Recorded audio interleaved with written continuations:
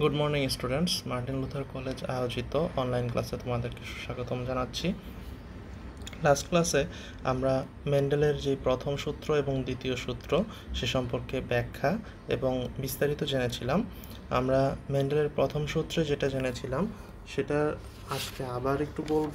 দেন মেন্ডেলের প্রথম সূত্রের যে ব্যতিক্রমগুলো, সে সম্পর্কে আমরা বিস্তারিত জানব। তো মেন্ডেলের প্রথম সূত্রে আমরা লাস্ট ক্লাসে কিন্তু বেশ কিছু জিনিস বলেছিলাম, সেটাই আবার একটু বলছি মনে করানোর জন্য। মেন্ডেলের প্রথম সূত্রে মূলত যেটা বলা হয়েছিল সেটা হচ্ছে সংকর জীবে বিপরীত বৈশিষ্ট্যের ফ্যাক্টরগুলো অর্থাৎ জিনগুলো মিশ্রিত বা পরিবর্তিত না হয়ে পাশাপাশি অবস্থান করে। এবং জননকোষ সৃষ্টির সময় সেটা পরস্পর থেকে পৃথক হয়ে যায়।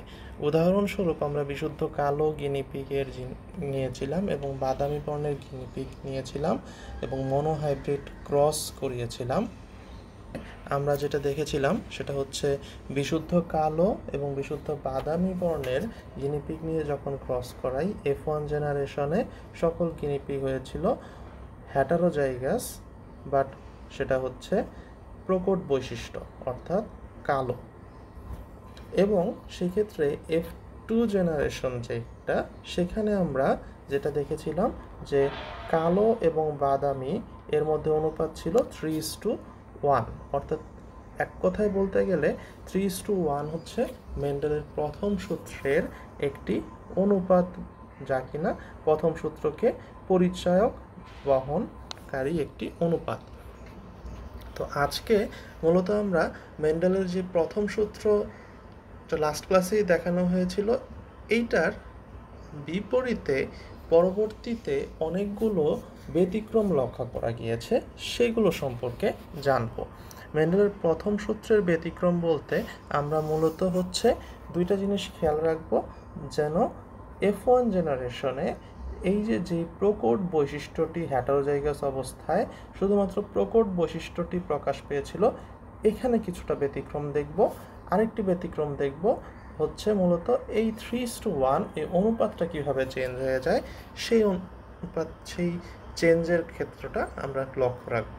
তো চলো দেখি হ্যান্ডেলের প্রথম সূত্রের ব্যতিক্রমে কি কি ঘটনা ঘটে। মেন্ডেলের প্রথম সূত্রের তিনটা ব্যতিক্রম তোমাদের বইতে আলোচনা করা হয়েছে।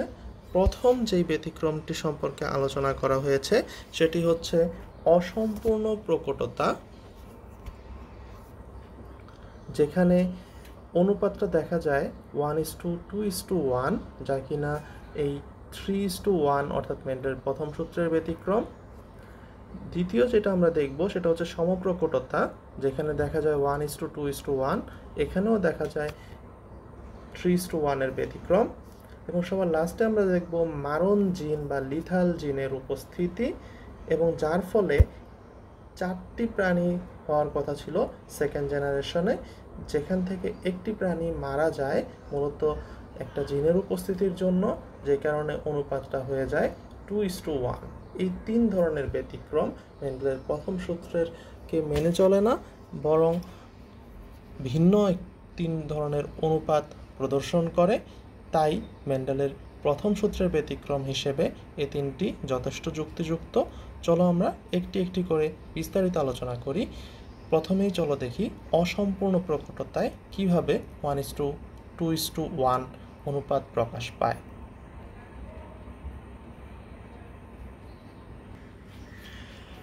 প্রথমে যে অসম্পূর্ণ প্রকটতা, যেখানে one is to two is to one অনুপাত প্রকাশ পায় এটাকে সাধারণত বলা হয় অসম্পূর্ণ প্রকটতা। যখন একজোড়া বিপরীত বৈশিষ্ট্য সম্পন্ন দুইটা জীবে যখন সংকরায়ন করানো হয়, অর্থাৎ মনোহাইব্রিড ক্রস করানো হয়, তখন প্রথম বংশধরে প্রকট বৈশিষ্ট্য সম্পূর্ণরূপে প্রকাশিত হয় না। আমরা যেটা মেন্ডেলের প্রথম সূত্রে দেখেছিলাম যে প্রকট বৈশিষ্ট্যটা হচ্ছে সবসময় অ্যাটারোজাইগাস অবস্থায় এফ ওয়ান জেনারেশনে প্রকাশ পাবে। সেই জিনিসটা মনোহাইব্রিড ক্রসে হবে না বা প্রকাশিত সম্পূর্ণভাবে হয় না, এটা হচ্ছে অসম্পূর্ণ প্রকটতার একটি অন্যতম লক্ষণ। সেকেন্ড যে ঘটনাটা ঘটে, উভয় বৈশিষ্ট্যের মাঝামাঝি একটি বৈশিষ্ট্য প্রকাশিত হয়। এবং এই ধরনের ঘটনাটাকেই বলা হয় অসম্পূর্ণ প্রকটতা। অসম্পূর্ণ প্রকটতার জন্য যেই জিনগুলো দায়ী, এগুলোকে সাধারণত ইন্টারমিডিয়েট জিন বলা হয়। চলো আমরা জিনতাত্ত্বিক ব্যাখ্যায় যাই। মূলত এই ইন্টারমিডিয়েট জিনগুলোর দায়ী থাকার জন্য অসম্পূর্ণ প্রকটতায় মেন্ডেলের মনোহাইব্রিড ক্রসের অনুপাতটা লাস্টে আমরা দেখব। One is to two is to one অর্থাৎ এরকম একটি অনুপাত দেখব। তো চলো, কি হয়েছে মূলত এখানে? সে সম্পর্কে একটু বিস্তারিত বলি। এখানে মূলত হচ্ছে সন্ধ্যামালতী নামক একটি গাছ যার লাল ফুল বিশিষ্ট যেই উদ্ভিদ, সে সম্পর্কে দেখানো হয়েছে। এখানে যেই ইন্টারমিডিয়েট জিনগুলো রয়েছে, এগুলো সাধারণত হচ্ছে মেন্ডেলের এই প্রথম সূত্রের ব্যতিক্রম হওয়ার জন্য দায়ী। এই কারণেই মূলত হচ্ছে দেখা যায় যে মেন্ডেলের প্রথম সূত্রে যেই মনোহাইব্রিড ক্রসের অনুপাতটা, এটা থ্রি ইস টু ওয়ানের পরিবর্তে one is to two is to one হয়। উদাহরণ হিসেবে বা চিন্তাত্ত্বিক ব্যাখ্যার জন্য আমরা সন্ধ্যামালতী যেই ফুল, সেটার লাল ফুল বিশিষ্ট উদ্ভিদ এবং সাদা ফুল বিশিষ্ট উদ্ভিদের মধ্যে সংকরায়ন করানো হয়। ফলে দেখা যায় যে প্রথম বংশধরে লাল রঙও হয় না, সাদা রঙও হয় না। দুইটার মাঝামাঝি একটি হ্যাটারোজাইগাস কন্ডিশন আসে, যেখানে প্রকট বৈশিষ্ট্যটি সম্পূর্ণরূপে প্রকাশিত হয় না এবং দুইটা রঙের মাঝামাঝি একটি রং যেটা কিনা গোলাপি রং, এই বর্ণের সকল ফুল দেখা যায়। তো প্রথম বংশধরে উদ্ভিদের মধ্যে এই সংকরণের ফলে উৎপন্ন যেই দ্বিতীয় বংশধর, সেখানে দেখা যায় আবার লাল, গোলাপি, সাদা এই তিন ধরনের ফুলই দেখা যায়, যার অনুপাত হয়ে যায় হচ্ছে one is to two is to one যা কিনা মেন্ডেলের প্রথম সূত্রের ব্যতিক্রম। তো জিনতাত্ত্বিক ব্যাখ্যায় আমরা দেখি যে ফুলের লাল বর্ণের জন্য দায়ী প্রতীক হিসেবে আমরা বিগ আর নিয়েছি এবং সাদা বর্ণের জন্য প্রতীক স্মল আর নিয়েছি। ফলশ্রুতিতে, genotype big R big R আর এখানে যে সাদা ফুলের জন্য genotype small r small r সেখান থেকে যথাক্রমে যে প্রাপ্ত গ্যামেট এখানে সবগুলোই বিগ আর, এখানে স্মল আর, এবং প্রথম বংশধর, যেখানে কিনা হ্যাটারোজাইগাস কন্ডিশনে big R small r big R small r, সবগুলোই ঠিকই আছে। এক ম্যান্ডের প্রথম সূত্র যদি বাস্তবায়িত হতো, তাহলে কিন্তু সবগুলোর রঙই লাল হওয়ার কথা ছিল। কিন্তু এই ক্ষেত্রে দেখা যায় সন্ধ্যামালতী ফুলের ক্ষেত্রে দেখা যায় যে, এক্ষেত্রে লাল রঙটা প্রকাশিত হয় না। এবং বিগ আর যেই লাল বর্ণের জন্য দায়ী জিন, সে তার বৈশিষ্ট্যটা সম্পূর্ণরূপে প্রকাশ করতে পারে না। তাই স্মল আর যে সাদা ফুল, এর জন্য, সাদা বর্ণের জন্য দায়ী জিন এবং লাল রঙের জন্য দায়ী জিন বিগ আর দুইটা মিলে মূলত অন্য একটা যে রং গোলাপি সেই রংটা প্রথম বংশধরে সবগুলো ফুলের মধ্যে প্রকাশিত হয়। এটাই দেখা যায় মেন্ডেলের যে প্রথম সূত্রের ব্যতিক্রম, অসম্পূর্ণ প্রকটতা, সেটা প্রকাশিত হচ্ছে। পরবর্তীতে এই দেখা যায় যে পরে এফ ওয়ান জেনারেশনের মধ্যে যখন আমরা ক্রস করাই, অর্থাৎ এফ ওয়ান জনের মধ্যে যখন ক্রস করাই, তখন গোলাপি ফুলগুলা নিজেদের মধ্যে, গোলাপি ফুলধারী যেই সন্ধ্যামালতী গাছ, সেখানে যদি আমি ক্রস করাই, যেই সেখান থেকে আমরা বিগ আর স্মল আর দুইটা ক্যামিটি আলাদা আলাদা করে পাবো। বিগ আর স্মল আর যা কিনা চ্যাকার বোর্ডে যখন আমরা নিয়ে যাই এফ টু জেনারেশনটা, তখন দেখা যায় বিগ আর এবং বিগ আর যখন একত্রিত হয়, তখন হচ্ছে দুইটা একত্রে মিলে সম্পূর্ণ লাল বর্ণ প্রদর্শন করে। কিন্তু বিগ আর আর স্মল আর যখন মিলিত হয়ে বিগ আর স্মল আর হয়, এখানেও দেখা যায় বিগ আর স্মল আর মিলিত হয়ে যখন এই বিগ আর স্মল আর পাশাপাশি থাকে তখন এই যে যে হ্যাটারোজাইগাস কন্ডিশন এখানে প্রকট বৈশিষ্ট্যটা সম্পূর্ণরূপে বৈশিষ্ট্য প্রকাশ করতে পারে না। বরং তৃতীয় একটি কালার দুইটা মিলে দেখা যায় গোলাপি বর্ণটা এখানে প্রকাশিত হচ্ছে। এটাই হচ্ছে অসম্পূর্ণ প্রকটতা। এবং সবার লাস্টে যেটা ফুললি রেসিসিভ ক্যারেক্টার নিয়ে গঠিত, যেটা কিনা সাদা বর্ণ প্রদর্শন করে স্মল আর স্মল আর জিনোটাইপধারী যেই সন্ধ্যামালতী গাছটি, তাই দেখা যায় যে একটি লাল, দুইটি গোলাপি এবং একটি সাদা মোট অনুপাত হয়ে যায় হচ্ছে one is to two is to one যা কিনা মেন্ডেলের প্রথম সূত্রকে কোনোভাবেই সমর্থন করে না। যেটা কিনা তোমাদের বইতে খুব সুন্দরভাবে এই ব্যাখ্যাটা দেওয়া আছে, যাদের আজমল স্যারের বই যারা ফলো করো, সেখানে খুব সুন্দর একটা ব্যাখ্যা লেখা আছে যে এখানে লাল ফুলের জন্য বিগ আর বিগ আর এবং সাদা ফুলের জন্য স্মল আর স্মল আর চিন দেখানো হয়েছে। আর সম্পূর্ণ প্রকটতা প্রকোষ মানে যদি প্রকটতা থাকলে এফ ওয়ান উদ্ভিদের ফুলগুলো লাল বর্ণের মতন হতো। আর এফ টু জেনারেশনে ফিনোটাইপিক হতো তখন হচ্ছে থ্রি টু ওয়ান যা কিনা মেন্ডেলের প্রথম সূত্র অনুযায়ী। কিন্তু মেন্ডেলের প্রথম সূত্র এখানে মেনে চলছে না, বরং আর অসম্পূর্ণ প্রকটতা প্রদর্শন করার জন্য এফ ওয়ান জেনারেশনে হ্যাটারোজাইগাস বর্ণ, গোলাপি বা পিঙ্ক রং হয়েছে এবং এফ টু জেনারেশনে দেখা গিয়েছে যে একটি লাল, দুইটি গোলাপি এবং একটি সাদা, অর্থাৎ one is to two is to one অনুপাতটা প্রকাশিত হয়েছে। এটি মূলত মেন্ডেলের প্রথম সূত্রের একটি অন্যতম ব্যতিক্রম, যাকে আমরা অসম্পূর্ণ প্রকটতা বা ইনকমপ্লিট ডমিন্যান্স বলে থাকি। আশা করি এই টপিকটি বুঝতে পেরেছ।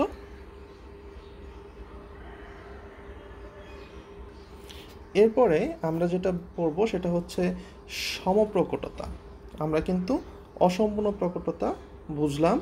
এখন আমরা দেখব হচ্ছে সমপ্রকটতার ক্ষেত্রে কি ধরনের ঘটনা ঘটে।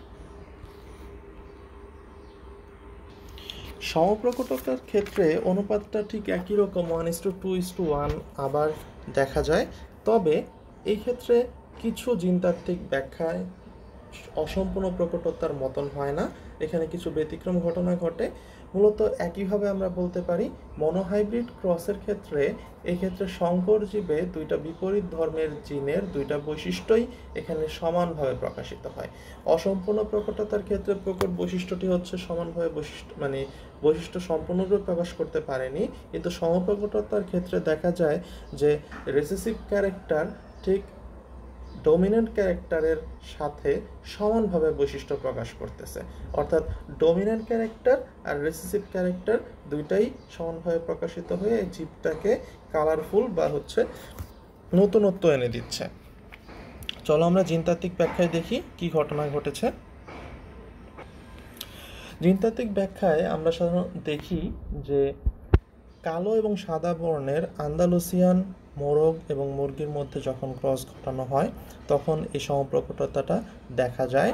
এক্ষেত্রে সাধারণত কালো পালক বিশিষ্ট মোরগ এবং হচ্ছে সাদা বর্ণ পালক বিশিষ্ট যে মুরগি, আন্দালুসিয়ান মুরগি, তো সে, তাদের মধ্যে যখন ক্রস দেখানো হয়, তখন প্রথম বংশধরে সকল মোরগ মুরগি দেখা যায় যে কালো বা সাদা, এরকম হওয়ার কথা ছিল মেন্ডেলের প্রথম সূত্র অনুসারে।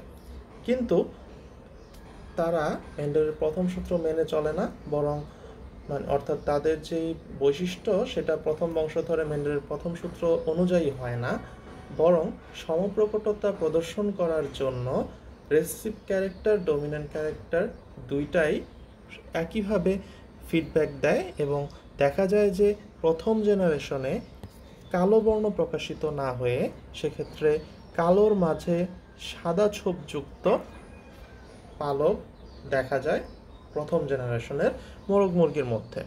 অর্থাৎ আমরা যখন জিনতাত্ত্বিক ব্যাখ্যায় যাই, তখন দেখা যায় যে বিগ বি বিগ বি এবং স্মল বি স্মল বি যথাক্রমে কালো এবং সাদা বর্ণের যেই মোরগ এবং মুরগি, এদের মধ্যে যখন ক্রস করানো হয় গ্যামেট স্বাভাবিকভাবেই বিগ বি আসবে এবং স্মল বি আসবে।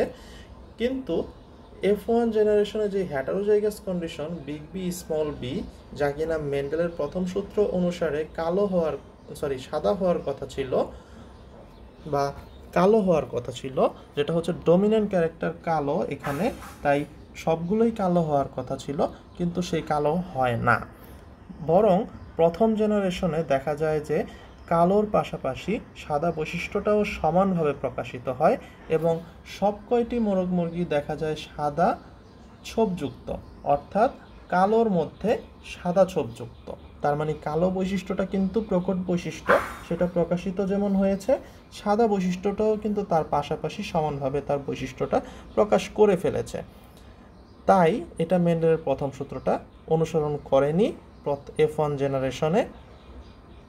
এবং পরবর্তীতে আমরা যখন এফ টু জেনারেশন পাই, অর্থাৎ এফ ওয়ান জেনারেশনগুলোর মধ্যে যদি পুনরায় আমরা ক্রস করাই, তাহলে দেখা যায় যে এখানে ঠিক দুইটা ধরনের গ্যামেটই আসতেছে, কিন্তু এদের মধ্যে ক্রস হওয়ার ফলে যেটা হোমোজাইগাস কন্ডিশন যে দুইটো, সেগুলো কিন্তু বিগ বি বিগ বি হলে সেটা কালো, স্মল বি স্মল বি হলে সেটা হচ্ছে সাদা, কিন্তু এই হ্যাটারোজাইগাস কন্ডিশনের যে কয়টা মোরগ মুরগি পেয়েছি, সেখানে যথাক্রমে দেখা গেছে যে সাদা কালো ছোপযুক্ত, অর্থাৎ কালোর মধ্যে সাদা ছোপযুক্ত মোরগ মুরগি পাওয়া গিয়েছে।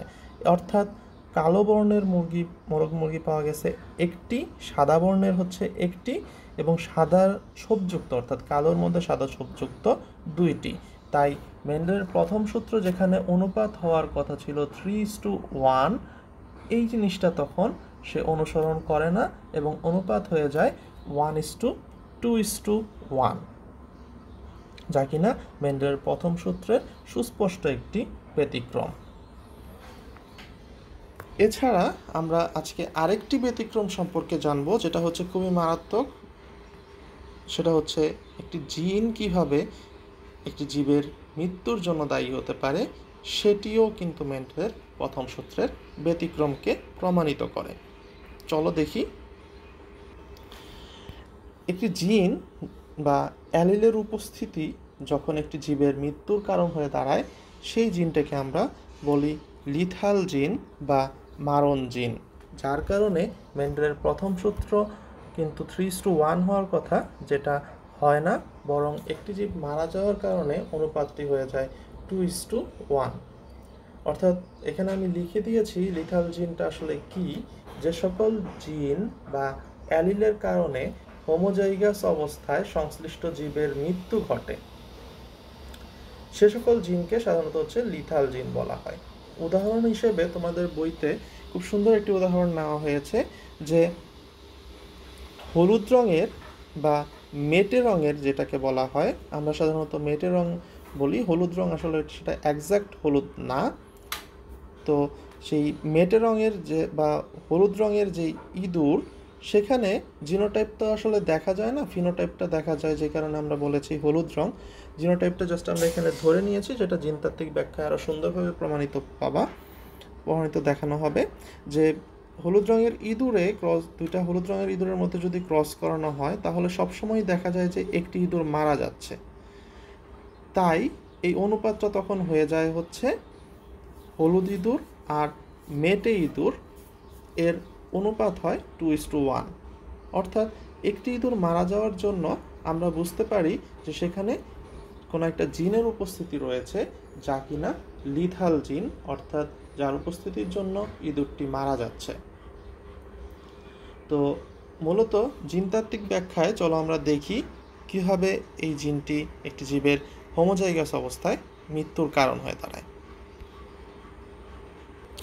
মেন্ডেলের সূত্র অনুযায়ী দেখা যায় যে বিশুদ্ধ এবং হোমোজাইগাস হলুদ বর্ণের ইঁদুরের জিনোটাইপ আমরা বিগ ওয়াই এবং বিগ ওয়াই নিয়ে নেই এবং বিশুদ্ধ মেটে বর্ণের হলুদের জিনোটাইপ হচ্ছে স্মল ওয়াই স্মল ওয়াই নেওয়ার পরে প্রকৃতিতে যে সকল হলুদ বর্ণের ইঁদুর পাওয়া যায়, সেগুলো কোনোটাই বিশুদ্ধ না।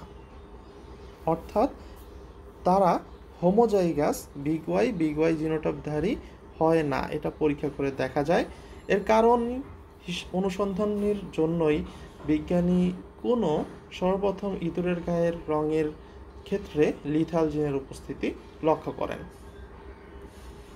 তার পরীক্ষায় যেটা দেখা যায় যে আমরা মাত্রই বললাম যে দুইটা হলুদ বর্ণের ইঁদুরের মধ্যে ক্রস হলে সবসময় সেটা অনুপাতটা টু ইস টু ওয়ান হয়ে যায় এবং একটি ইঁদুর মারা যায়। অর্থাৎ টোয়েন্টি ফাইভ পার্সেন্ট ইঁদুর কিন্তু ভ্রূণীয় অবস্থায় মারা যাচ্ছে।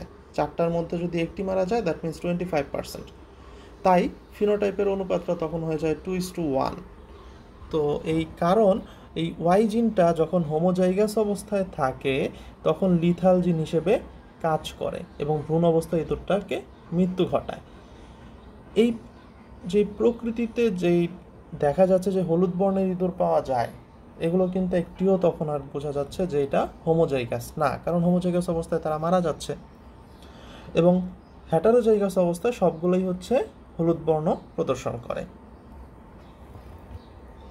তো জিনতাত্ত্বিক ব্যাখ্যায় যখন আমরা জীবিত দুইটা, অর্থাৎ শঙ্কর, হলুদ বর্ণের ইঁদুর, অর্থাৎ বিগ ওয়াই, স্মল ওয়াই, এইগুলো নিয়ে যখন আমরা ক্রস করি, তখন সাধারণত হচ্ছে দুইটা গ্যামেট পাওয়া যায়, একটা হচ্ছে বিগ ওয়াই, আরেকটা হচ্ছে স্মল ওয়াই।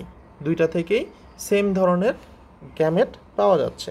তো এদেরকে যখন চেকার বোর্ডে নেওয়া হয়, তখন দেখা যায় যে বিগ ওয়াই বিগ ওয়াইয়ের ফলে যেই big Y big Y homozygous condition ইঁদুরটি উৎপন্ন হয়, সেটা কিন্তু ভ্রূণ অবস্থায় মারা যাচ্ছে। এবং পক্ষান্তরে যেই বিগ ওয়াই স্মল ওয়াই এই দুইটা মিলে যেটা হচ্ছে big Y small y heterozygous condition সেটা কিন্তু হলুদ বর্ণের হচ্ছে। একইভাবে আরেকটি হলুদ বর্ণের পাচ্ছি, সেটাও হ্যাটারোজাইগাস কন্ডিশনের বিগ ওয়াই স্মল ওয়াইয়ের মিলনের ফলে। আর যেটা হচ্ছে রেসেসিভ ক্যারেক্টার দুইটাই স্মল ওয়াই স্মল ওয়াই সেখানে হলুদ বর্ণের অনুপস্থিতি বা মেটে রং প্রদর্শিত হয়। এর ফলে অনুপাতটি হয়ে যায় তখন দুইটি হলুদ আর দুইটি হলুদ আর হচ্ছে একটি মেটে বর্ণ। অর্থাৎ মেন্ডেলের প্রথম সূত্র থ্রি টু ওয়ান এইটা না হয়ে অনুপাতটা হয়ে যাচ্ছে টু ইস টু ওয়ান এটাও কিন্তু মেন্ডেলের প্রথম সূত্রের একটা সুস্পষ্ট ব্যতিক্রম। এইরকম লিথাল জিনের প্রভাবে শুধুমাত্র যে ইঁদুর মারা যায়, তাই না? এখানে কিন্তু লিথাল জিনের উপস্থিতির জন্য আরও অনেক জীবী কিন্তু মৃত্যুবরণ করে, অনেক সময় অঙ্গহানি হয়ে থাকে। উদাহরণ হিসেবে আমরা বলতে পারি যে ক্রিপার মুরগি বা পাবিহীন, বাছুর ইভেন মানুষের ক্ষেত্রে দেখা যায় ব্র্যাকোফ্যালানজি নামক একটা অসুখ, এছাড়া হিমোফিলিয়া, জন্মগত ইকথিওসিস এরপর ইনফেন্টাইল অ্যামার্টিক ইউডিসি, তো ইডিওসি যেটাকে বলা হয়, এবং থ্যালাসেমিয়া, এ ধরনের রোগগুলো কিন্তু হয়ে থাকে। এগুলো কিন্তু লিথাল জিনের মতনই কিছু জিন আবার কিছু জিন আছে লিথাল জিন এমন কিছু লিথাল জিন আছে যেগুলো হচ্ছে যার প্রভাবে বাহক জীব একেবারে ছোট অবস্থায় মারা যায় না। তারা বড় হয়, কোনো কোনো ক্ষেত্রে বংশবৃদ্ধিও ঘটায় এবং যেসব লিথাল জিনের প্রভাবে ফিফটি পার্সেন্টের বেশি জীব মারা যায়, সেগুলোকে বলা হয় সেমি লিথাল জিন।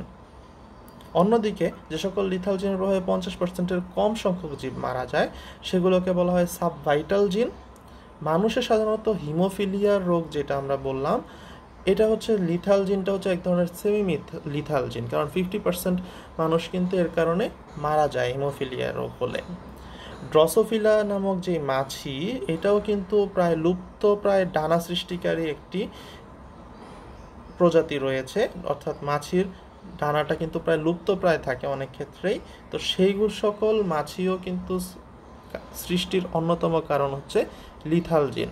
তবে সেক্ষেত্রে যেহেতু রোগী অর্থাৎ হচ্ছে ড্রসোফিলা মাছিটা মারা যাচ্ছে না, এর মারা যাওয়ার পরিমাণটা ফিফটি পার্সেন্টেরও দেখা যায় অনেক কম। তাই দেখা যায় যে এটাকে বলা হয় সাবভাইটাল ধরনের লিথাল জিন। অর্থাৎ লিথাল জিনকে যদি আমরা ক্লাসিফাই করি, তাহলে দুই ধরনের লিথাল জিন পাচ্ছি। একটি হচ্ছে সেমি লিথাল জিন, যেটা হচ্ছে ফিফটি পার্সেন্টের যদি বেশি মারা যায়,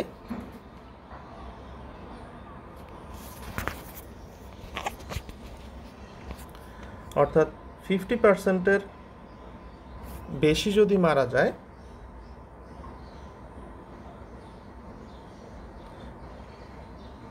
তাহলে সেটাকে আমরা বলব হচ্ছে সেমি লিথাল আর ফিফটি পার্সেন্টের কম যদি মারা যায়, তখন সেটাকে আমরা বলব সাবভাইটাল জিন। উদাহরণ হিসেবে সেমি লিথাল জিনের কথায় উদাহরণ হিসেবে আমরা বলেছি মানুষের হিমোফিলিয়া রোগ, আর সাবভাইটাল জিনের ক্ষেত্রে আমরা বলেছি ড্রসোফিলা মাছির লুপ্তপ্রায় ডানা সৃষ্টিকারী লিথাল জিন। তো এই হচ্ছে মূলত লিথাল জিন, যা কিনা মূলত কোনো জীবের উপস্থিতি হওয়া মানেই হচ্ছে জীবের একেবারে মৃত্যু অনেক সময় তা না, যেটা আমরা ইঁদুরের ক্ষেত্রে দেখেছি, ইঁদুরের মৃত্যুই ঘটায়। কিছু কিছু ক্ষেত্রে তাদের বৈশিষ্ট্যের নতুনত্বও নিয়ে আসে এবং মূলত হচ্ছে তার জীবনের অঙ্গহানি বা তার জীবন নাশের একটি হুমকি স্বরূপ হিসেবে দাঁড়ায় এই লিথাল জিন, যা কিনা মেন্ডেলের প্রথম সূত্রের ব্যতিক্রম। তো আশা করি আজকের ক্লাসটা আমরা বুঝতে পেরেছি। মেন্ডেলের প্রথম সূত্র এবং মেন্ডেলের প্রথম সূত্রের ব্যতিক্রম সম্পর্কে আমরা বিস্তারিত জানতে পেরেছি। কোনো কারণে যদি তোমাদের মনে কোনো কোয়েশ্চেন থেকে থাকে, অবশ্যই কমেন্ট বক্সে লিখবে। তোমাদের উপস্থিতি নিশ্চিত করার জন্য তোমাদের নাম রোলটি লিখতে ভুল করবে না। সবাই সুস্থ থাকো, ভালো থাকো। আগামী ক্লাসে আবার দেখা হবে। সে আশা করে আজকের ক্লাস এখানেই শেষ করছি। সবাইকে অসংখ্য ধন্যবাদ।